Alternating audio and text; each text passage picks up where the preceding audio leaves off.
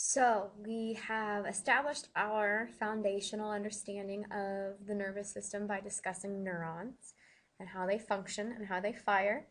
Hopefully, the activities in class over the last few days have been beneficial for you to understand that process. So, now we're going to move out into the broader whole and discuss the nervous system in general. And then we're going to move into the endocrine system and how that influences behavior and mental process. So, nervous system consists of all nerve cells, and this includes neurons, okay? It is basically an electrochemical communication system throughout your body, and the electrochemical aspect is, the neuron and neurotransmitters. The central nervous system is made up of your brain and your spinal cord, and that's it.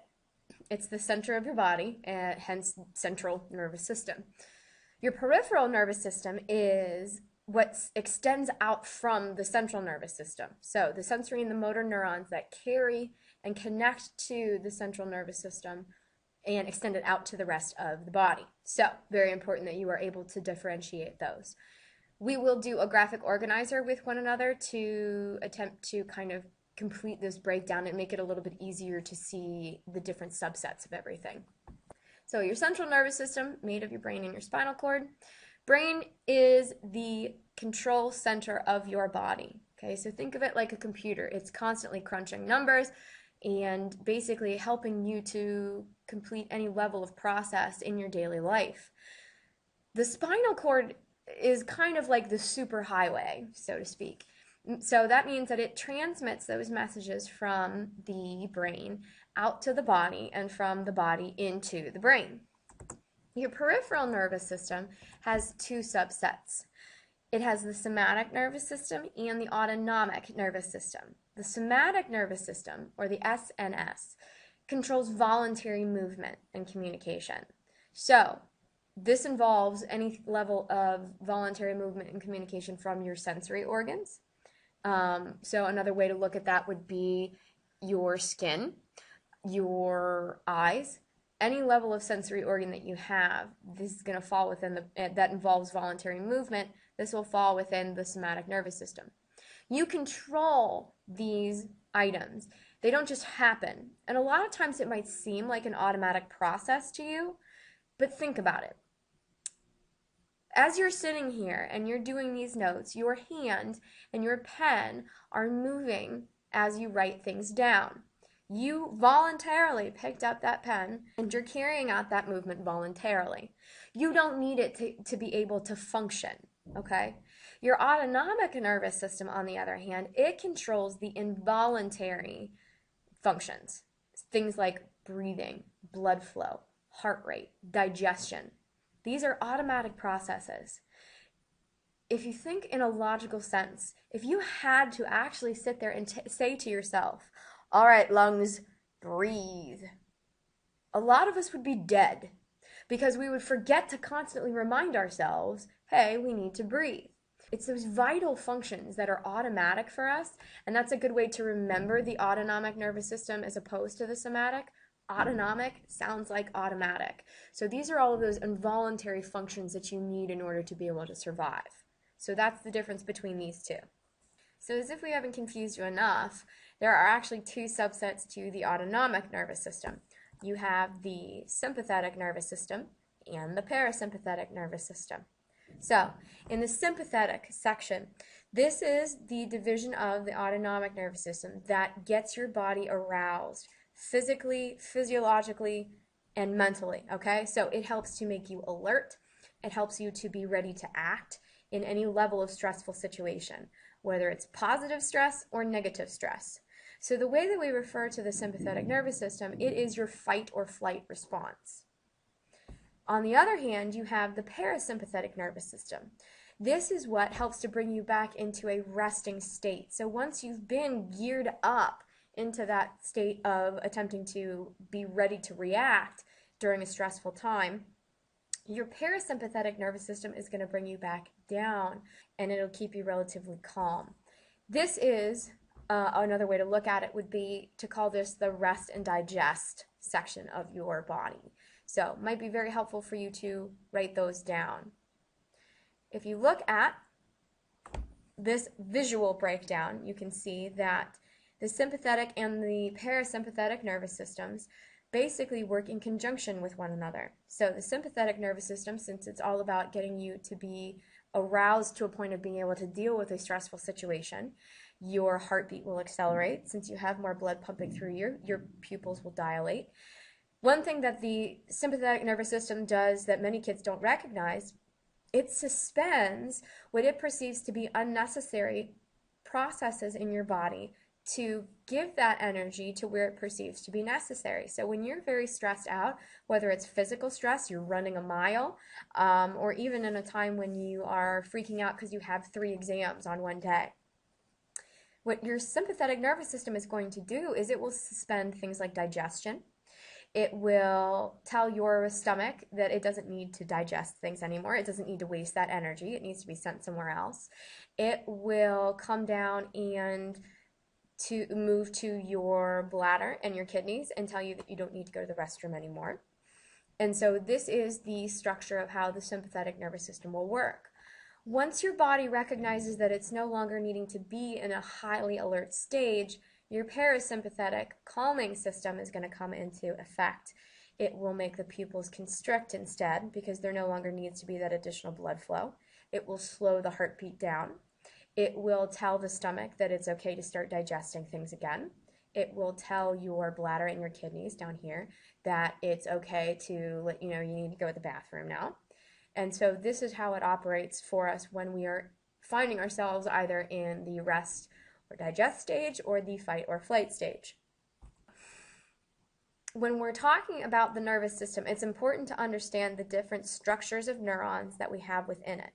And there are three key types. The first is a sensory neuron. This is referred to as afferent.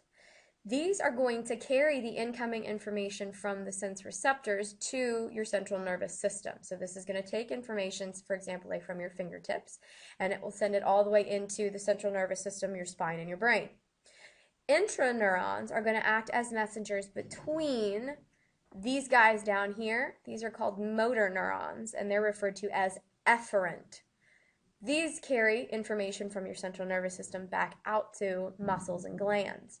So interneurons act as intermediaries, okay? They're in betweens, so to speak, between the afferent and efferent neurons within the central nervous system itself.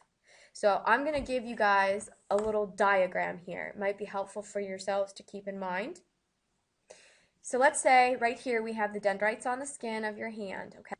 The afferent neurons are going to take this piece of information of you, uh, you know, touching something, and they will send it down through into your spinal cord, and it will send it to an intraneuron right here in your central nervous system.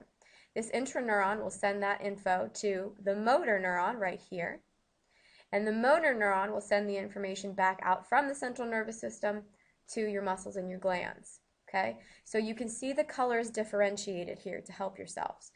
Blue is the sensory neuron bringing the information in. It is connected to an interneuron, which is yellow here, within the central nervous system. So this would be like your spine right here. And then it is connected to the motor neurons that will send that message back out to the muscles and the rest of the body. Let's talk endocrine system real fast. This is the body's slower chemical communication system. Please notice that I say chemical here as well a lot of times kids get confused because they automatically assume if we're discussing chemical messages in communication, it means hormones in the endocrine system. That's not entirely correct. The same things that can operate as neurotransmitters in your nervous system can also function as hormones in your endocrine system. So, very important that you keep in mind that both of these structures, in terms of their system makeup, deal with chemical messages and communication. It's just their means of transmission is different. Nervous system, it's going to go through neurons.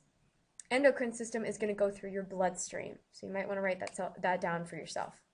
Under normal circumstances, your endocrine system is going to work in conjunction with your parasympathetic nervous system, so that subset of the autonomic nervous system, to sustain your basic bodily processes. In a crisis, the endocrine system is going to work to support your sympathetic nervous system. So by that we mean It's going to help gear you up and get that energy necessary for the flight, fight or flight response. So, the endocrine system in times of stress works hand in hand with the sympathetic nervous system. And we'll explain how that works right here. Let's say, for example, while you're walking down the street, a man pulls a gun on you.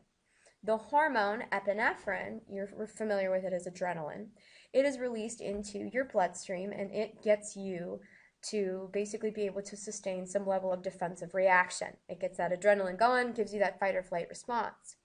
This works in conjunction with your sympathetic nervous system because it will keep your heart pounding, it will make your muscles tense, and it will make you ready to go to react if it is necessary in that situation.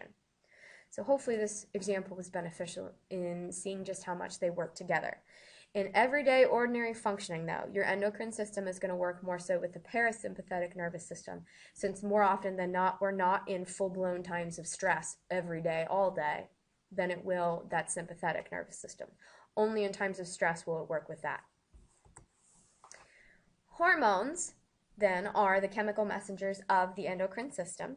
And these are synthesized by various different glands within the endocrine structure, and we'll get into what those are. They're secreted into your bloodstream, okay? So, very important that you keep in mind for yourself the difference then between hormones and neurotransmitters, since they're both chemicals that are used to send messages in your body. First and foremost, the speed of transmission between these two, very different. Hormones, much slower. Neurotransmitters are within seconds of one another that they'll be released and, and operating, okay? So speed of transmission, very, very important. Length of influence is also significant in terms of difference. Hormones will last much longer. It can take anywhere from weeks or days or months for them to become active. Um, for neurotransmitters, it's a very brief duration that they're working. And the last difference is method of transmission. In this structure, the endocrine system and hormones, they're going to be released through the bloodstream. And for neurotransmitters, those are released in neurons. The pituitary is located right under your hypothalamus. It's this thing right here. It looks kind of like a beak. The pituitary is under the control of your hypothalamus. And so it's going to send out hormone signals to the other glands in your body, such as your pancreas or um, adrenal glands or things like that, um, to let them know that they need to be functioning and to carrying out certain processes. Your thyroid and your parathyroid glands are going to work to regulate your metabolism. So, metabolism is basically your energy level, your body's energy level. If you have a low metabolism, that means you get tired very easily and typically you gain weight more easily. If you have a high metabolism, that means that you have a fairly high energy level and typically you end up losing quite a bit of weight. It's difficult for you to keep it on because you have such a high energy rate going on in your body. Your thyroid and your parathyroid also work on dealing with physical growth as you age uh, and also your development and your calcium rate. So for women, as they age and go through menopause, their thyroids are particularly impacted and their calcium rates are influenced as well because these are controlled by thyroids and glands. Your adrenal glands and your pancreas work in conjunction with one another. The adrenal glands are what are going to regulate that fight or flight response to get you geared up for dealing with that stress, and it also helps with metabolism. Your pancreas which is right down here. This is going to regulate your level of blood sugar. We call that glucose. And so this is very important because issues with your pancreas can lead to things like diabetes. So it's very important to keep that in mind. The reproductive organs are referred to as the gonads. These regulate your bodily development. So in boys, it is the testes, and for girls, it is your ovaries. Okay, so it regulates these bodily developments and it also maintains these reproductive systems. So um, these are what are going to, as we said, regulate reproductive processes. It's important to know that the hormone that is released within these systems, for boys, it is testosterone from the testes, and for girls, it is estrogen and progesterone, and that is regulated by the ovaries. So this was the set of notes on the nervous system and endocrine system. If you have any questions, just let me know.